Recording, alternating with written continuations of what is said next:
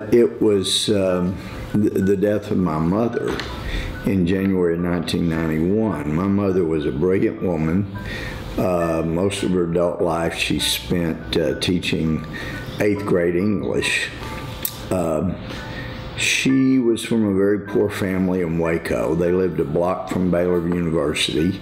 She put herself through Baylor, working full time at the registrar's office, and I didn't know till after she passed she'd been an honor student, honor society person at Baylor, even working full time. But she's a brilliant lady, and all through the 80s, um, she would say stuff like, you know, God meant for you to be a public servant and you'd be a good judge, stuff like that.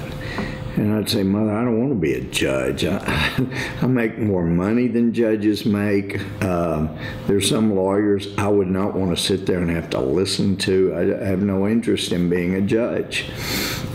After she passed away in January of 91, then I started thinking about the things my brilliant mother used to say.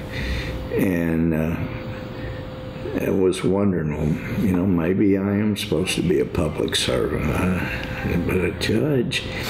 So my wife and I wrestled with it, prayed about it, and uh, you know, nowadays I've said, you know, I felt like uh, Congress was a calling, and some reporters say, "Have you heard voices?"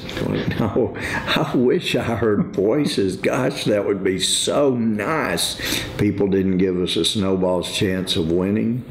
Uh, the most politically plugged in person I knew in the county called me on Sunday night before the Tuesday election in the, in the primary and said, Louie, when you first said you were running for judge, thinking about it, I knew you didn't have a chance, but man, you have worked so hard. You, I, I, I think you, it's a 50-50 chance. This election could go either way. You've done an incredible job, no matter how it turns out. And uh, anyway, I told my wife, I said, it feels better than 50-50. I don't know, maybe it just does, but I no, it does. It feels like you're doing well.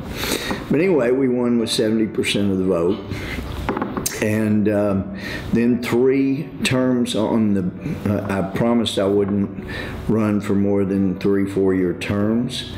And after a decade on the bench as a district judge, handling, handling uh, major civil litigation and uh, felonies, including um, death penalty cases, I just felt like we have got to change some federal laws. We need to fix some things. And then that led eventually to a piece, all right, looks like running for Congress is what we're going to do. So, uh, so I would say there are pivot points in there, but the big one was going back to when my mother passed away and the influence she had and just thinking about the things my smart mother said.